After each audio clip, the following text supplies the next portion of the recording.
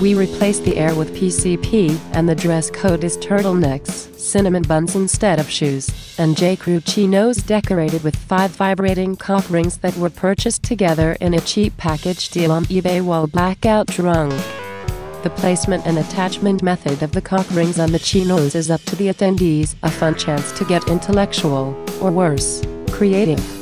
Several mandatory icebreaker games will be played where the partiers must each make a case for why their tingly ringly chinos are really super goodly designed. The losers will be Hella Weak Beak and the winners will be Wicked Dank Frank for the remainder of the party.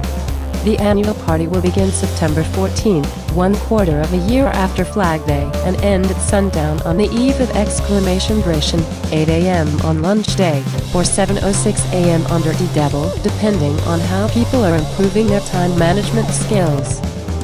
When the party finally ends, the Mayan calendar will predict that every day from now on is 2012, and the rapture will begin. Time will lose all meaning at this point. So then we will be born and it will be one of the happiest days of our lives.